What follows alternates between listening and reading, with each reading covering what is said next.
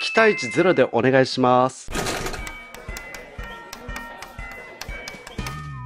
全国の皆さんこんばんは、シアラ放送部ごタクです。あのー、今日の動画ですね、コメント欄、だけんなんで埋まるんですよ。だけんなんって何かと言いますと、福岡なんですかね、博多弁なのかちょっとわかんないですけど、だから何っていう意味なんですけど、本気でこれ聞いたら、だけんなんってなります。で、俺、俺、動画出すかどうしようかなってこれ悩んだんですけど、あれちょっともう我慢できないんで、ちょっと言わせてください。今回お願いします。個人的には歓喜した話なんですけど、第三者からしたらマジで、だけんなんやねんってなると思うんで、ラストまで聞いた時の責任は、あの、ご自身でお願いします。なのでこれどういった話かと言いますと、よくさ、初対面であるはずの人の顔を見て、あれ？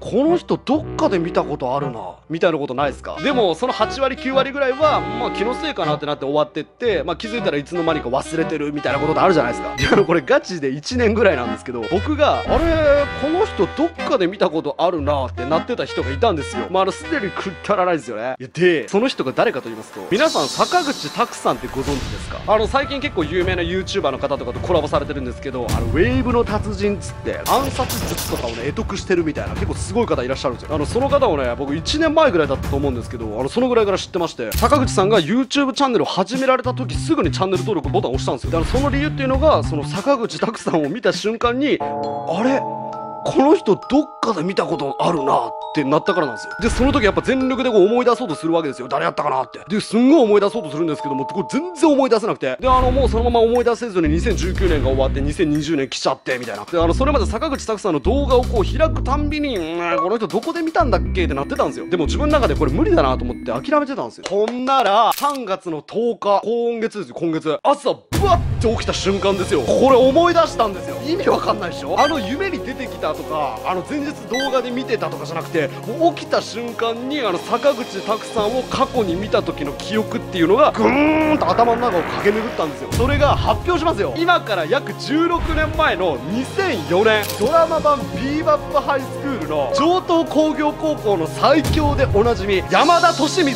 ていうのがいるんですけどその山田利光役をやってたのがこの坂口拓さんだったんですよ。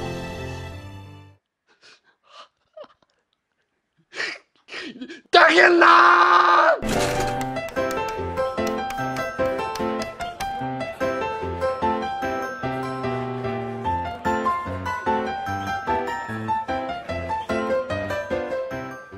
いや、ほんとすいません。いや、ダメですよね、こんな動画ね。だからこれも1年ぐらい思い出せなくて、その思い出せた時の快感すごかったんで、お話ししたんですけど、結構その過去にもあったんですよ。自分のことでだけなんていうような話。あの、こういうのしても需要ないからなと思って、今まで結構避けてきたんですけど、どうなのかなと思って、ちょっと勇気を持ってね、今日動画にしたんですよ。どうですか？だからまあ、あの、反省はしてますけど、後悔はしとらん。